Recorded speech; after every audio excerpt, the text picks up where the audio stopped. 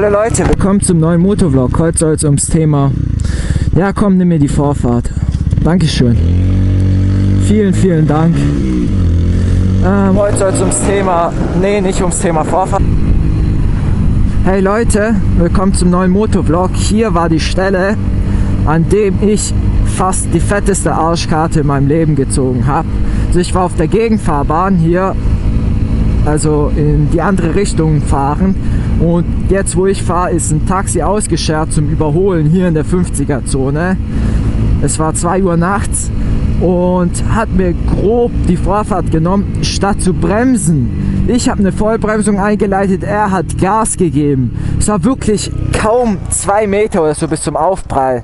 Wenn du das mal runterrechnest auf 60 km/h, das war 0,2 Sekunden bis zum Aufprall. MT-07 Cage, richtig geil. Und es war wirklich krass. Da hatte ich wirklich ein Problem mit.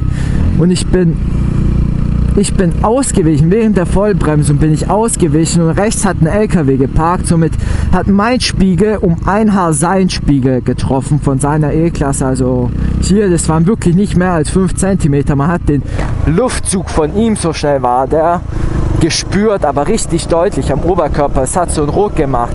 Und auf jeden Fall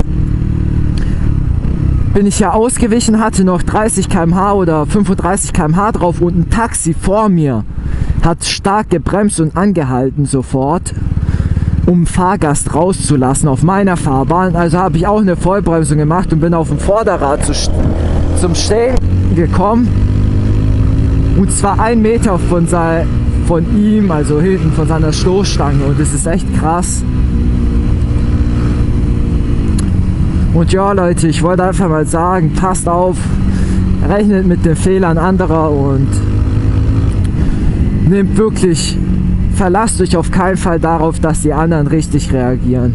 Weil jeder macht mal Fehler und dann gibt es wiederum Leute, die ständig Fehler machen oder einen katastrophalen Fehler machen. Es reicht ein Fehler und ihr habt die Arschkarte gezogen.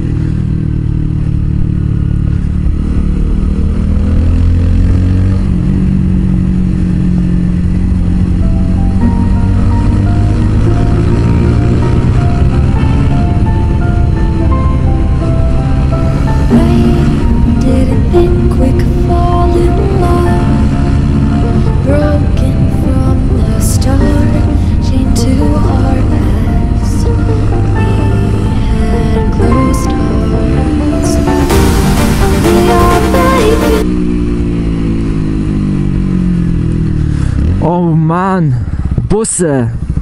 Wie ich Busse nicht leihen kann, ganz ehrlich.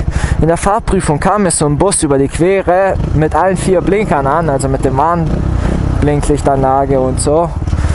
Und da dürft ihr nur mit Schrittgeschwindigkeit überholen und auch nur, wenn keine durchgezogene Linie da ist.